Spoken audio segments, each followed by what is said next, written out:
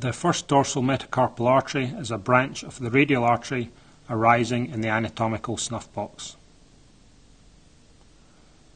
It runs down the radial side of the second metacarpal.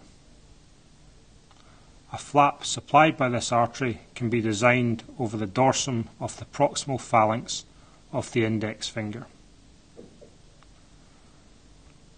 The flap is often tunneled subcutaneously into the thumb and it is useful to include a proximal skin extension to decrease the skin tension in the tunnel. Very thin skin flaps are raised to preserve the superficial veins. Then dissection proceeds along the surface of the first dorsal interosseous muscle. This preserves the first dorsal metacarpal artery lying in the subcutaneous fat.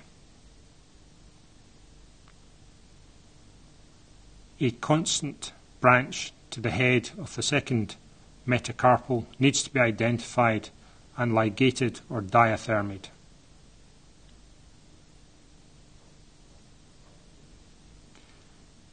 It is rarely necessary to actually see the artery in the clinical situation.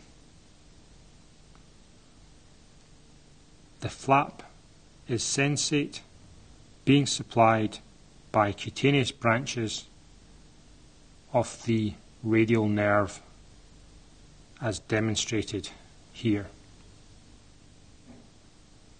These may be divided and joined to a damaged digital nerve if necessary. The flap reaches the tip of the thumb.